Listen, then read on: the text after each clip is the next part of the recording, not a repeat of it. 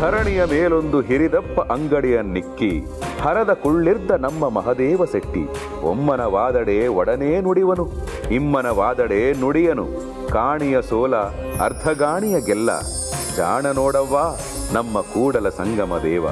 ಧರಣಿಯೇ ಒಂದು ಬಹುದೊಡ್ಡ ಅಂಗಡಿ, ಆ ಅಂಗಡಿಯ ಮಾಲೀಕ ಸಾಕ್ಷಾತ್ ಮಹಾದೇವ. ಭಗವಂತ ಮತ್ತು ಭಕ್ತನ ನಡುವೆ ನಡೆಯಬೇಕಾದ್ದು ಲಾಭ ನಷ್ಟದ ಪರವೇ ಇಲ್ಲದ ವ್ಯವಹಾರ. ಅದು ಭಕ್ತನ ಭಕ್ತಿ ಮತ್ತು ಭಗವಂತನ ಕೃಪೆಯ ಸರಕಿನ ವಿನಿಮಯ.